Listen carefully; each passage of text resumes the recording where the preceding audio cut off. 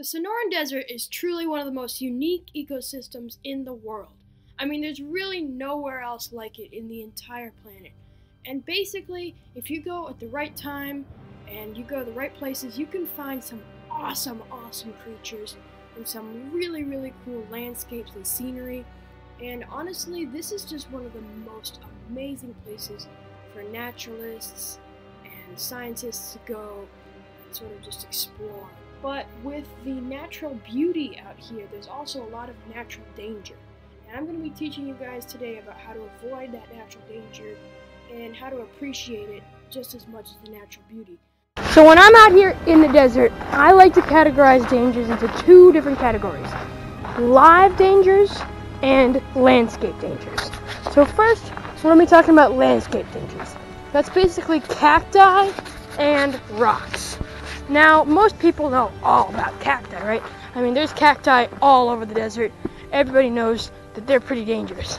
But what most people don't know is that the rocks in the Sonoran Desert, at least, are super dangerous if you take a wrong step. So you really need to watch out when you're rock climbing or playing on the rocks at all. So as we can see out here on the rocks, there's plenty of places for your ankle oh, to trip on, right? You know, and obviously in the summertime, these rocks are probably crawling with rattlesnakes, which is good for me. But most people don't like getting bitten by rattlesnakes. You know how your foot can easily get stuck in these rocks. So whenever you're rock climbing, playing with rocks, you really got to be conscious about where you're putting your hands, where you're putting your feet. Okay, so what I'm going to do, guys, is I'm going to go around and show you the four common species of cacti that can be found out here in the Sonoran Desert. And I'm going to go through each of them from least dangerous to most dangerous and tell you how you can avoid them and, you know, just give you a little bit of facts about them. Ironically enough, the most iconic cactus out here in the Wild West is actually the least dangerous species, the saguaro cactus. The saguaro cactus is basically like a gigantic big tree and running into a tree is practically impossible, guys, unless you're blind or something. You're not going to run into a tree. So this big cactus is so conspicuous. There's no way you're just going to bump into this by accident. And also, a lot of animals love to live in the holes, um, make holes in homes inside these cacti. But the saguaro cactus is definitely one of the most iconic species of cactus in the world. Now, here we have the barrel. Look at these spikes on this guy. These ones are not that hooked, but this species of barrel cactus is called a fish hook barrel cactus. Here's one with a seriously gnarly looking sort of fish hook spike. And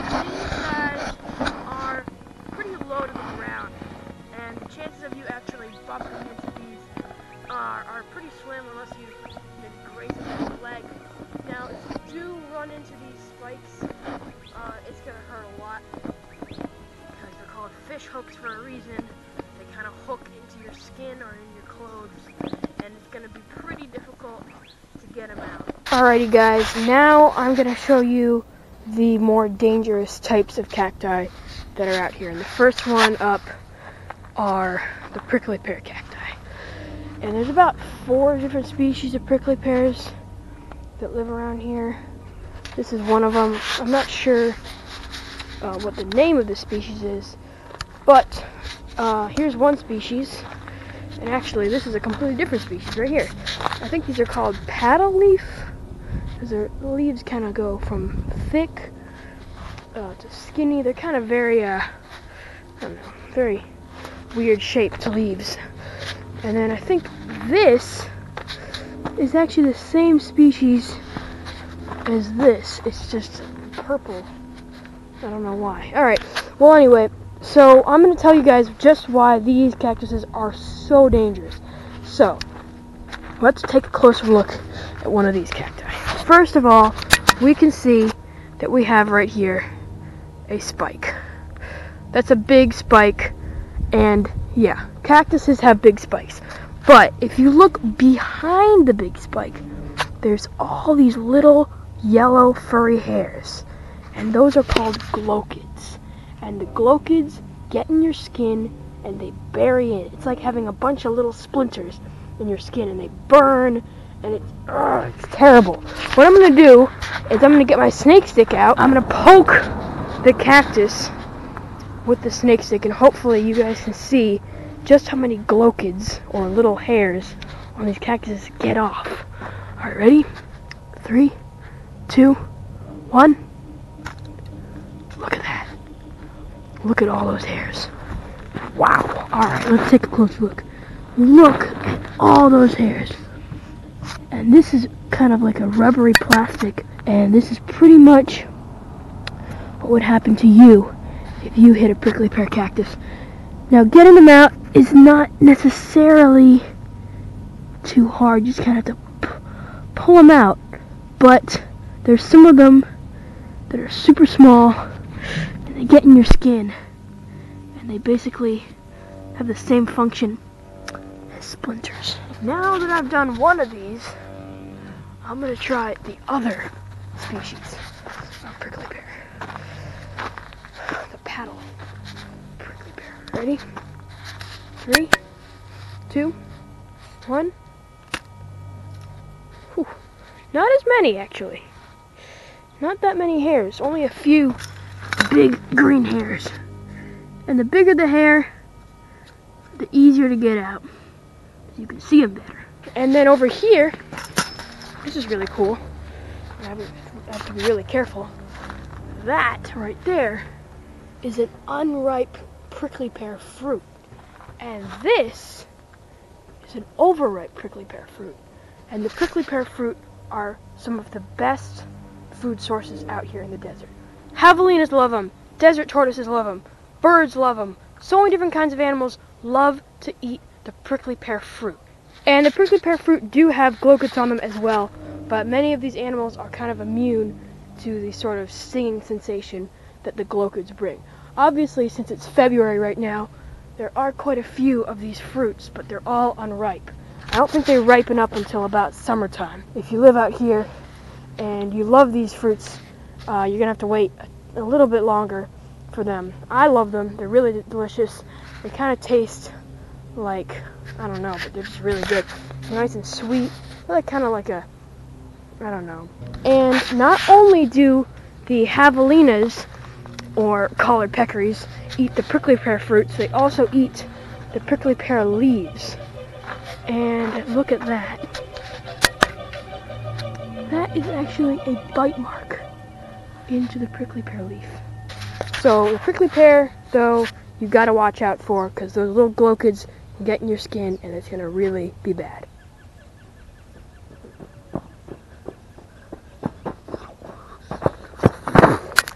And this, ladies and gentlemen, is the most dangerous cactus in the West.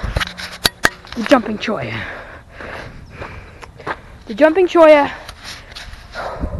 is really, really bad. Alright, are you ready? I'm gonna get my snake stick up close and personal. Three, two, one. Oh, we got one. We got one. Wow. Alright, the jumping cholla is by far the most dangerous cactus in the West. Alright, first of all, the jumping cholla has a ton of spikes. More than any other cactus out here, I think. And let's peel back one of the spikes. There we go. Look at that. That is a paper thin coating. And over the paper thin coating is a full on barbed spike.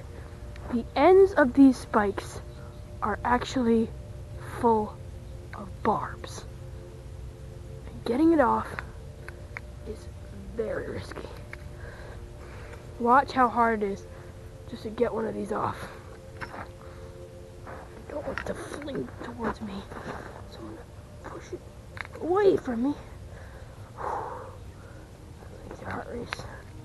Wow. Alright. So take a look at this cactus. All right, let's get let's get this guy.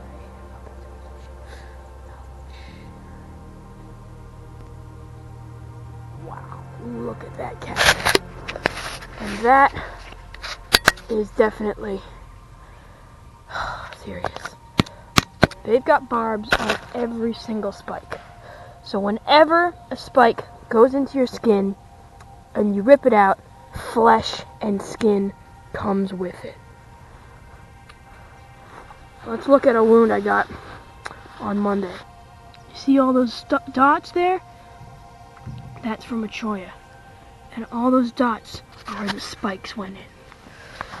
The cholla is not only a very, very spiky and barbed cactus, but you don't even need to walk into it to have it get on you. This is what it looks like to get cholla. Watch. Oh crap! Oh shoot!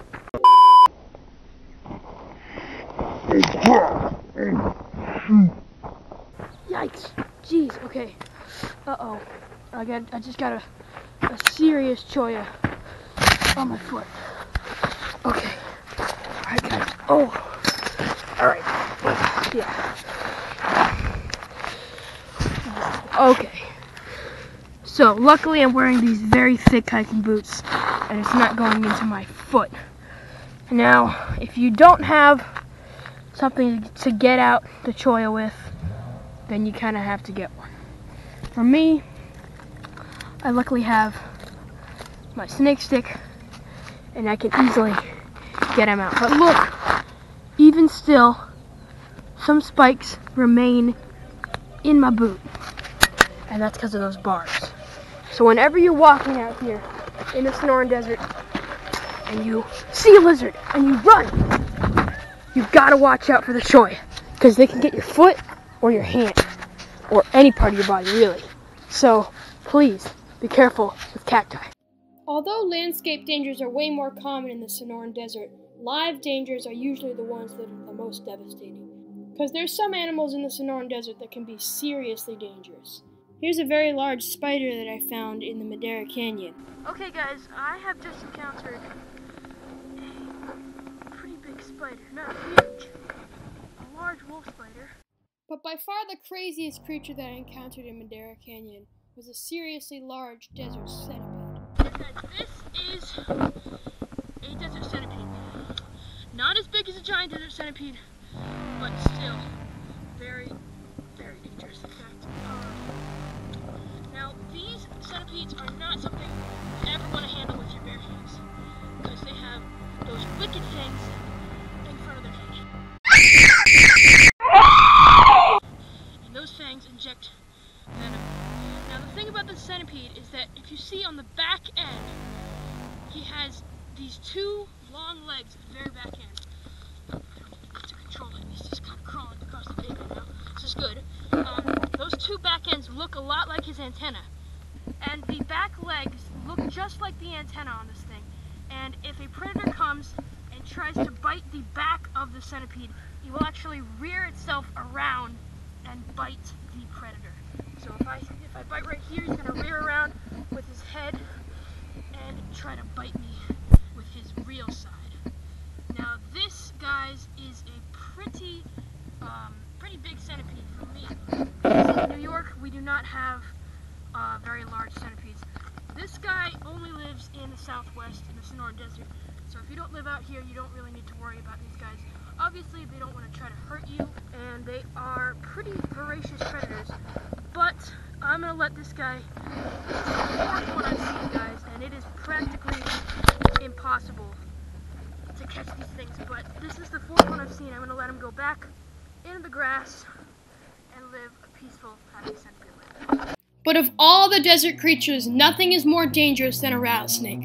And I saw one in the Saguaro National Park, a western diamondback. And it wasn't that big, but if I tried to catch this snake, it could kill me. Now, I didn't try to catch it with my snake stick because there was a bunch of people around, but if you ever, ever, ever get bitten by a rattlesnake, you must immediately go to the hospital. They can sometimes be fatal, Not all species are fatal, but there's a very large amount of rattlesnake species that can potentially kill you. This is the most dangerous desert animal in Arizona. So the Sonoran Desert is truly a one-of-a-kind location, but you need to be careful. There's always risks that you're going to have to take if you want to get to the best places, you want to see the best creatures, you want to see the best wildlife out in this unique ecosystem. But don't worry, usually you're not going to run into very many of these dangers. And if you do, just, you know, usually just admire the animals or even the cacti from a safe distance and you'll be just fine. And plus, these animals never ever want to kill you, and if you ever see an animal in the wild, just leave it alone. You know, just treat the wildlife and the nature like you would want to be treated, and just have a great time if you're ever in the Sonoran Desert.